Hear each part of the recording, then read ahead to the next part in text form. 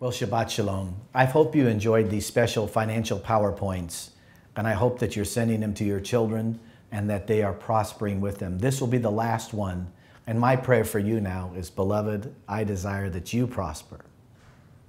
I desire that you prosper in all things. I desire that you prosper beyond what I prosper. I desire the blessings of God to prosper in your health and to prosper in every place that you go. I desire that your soul prospers, that your mind, will, and emotions would be blessed. The last verse I want to look at with this series is Genesis 39, 21 through 23. But the Lord was with Joseph, and you know the Lord is with you. He showed him mercy and loving kindness and gave him favor in the sight of the warden in his prison. And the warden of the prison committed to Joseph care of all the prisoners who were in the prison, and whosoever was done there, he charged, he was in charge, whatever was done there, he was in charge of it. Verse 23. The prison warden paid no attention to anything that was in Joseph's charge, for the Lord was with him and made whatever he did prosper.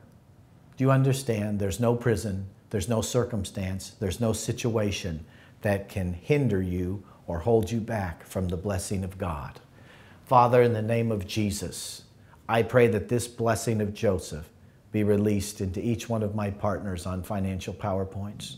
That the wisdom of Joseph, the character of Joseph, the long suffering of Joseph, but that the faith of Joseph, not to bend his knees to the Egyptian gods, to be the man of God that he was in and out of prison, even after he was redeemed and taken before Pharaoh and made the second most powerful man in Egypt. He took the character of the prison to the, uh, his prime ministership into that government as he was under the dominion of Pharaoh. He was really under the dominion of God. Lord, raise up Joseph's raise up Esther's, those who will transform companies, transform nations, transform states. Raise them up now, understanding that the place you're in now is a place of blessing, and God's blessing can penetrate through the prison walls of your mind and through the prison walls of a prison, uh, through the prison wall of divorce, through the prison walls of financial failure, through the prison walls of bankruptcy.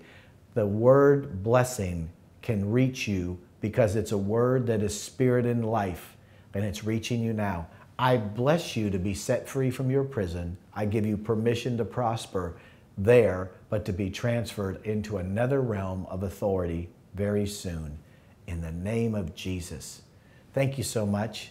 Give all these scriptures and these PowerPoints to your children, and remember to say this to them Beloved child, I desire that you prosper in all things in health, even as your soul prospers.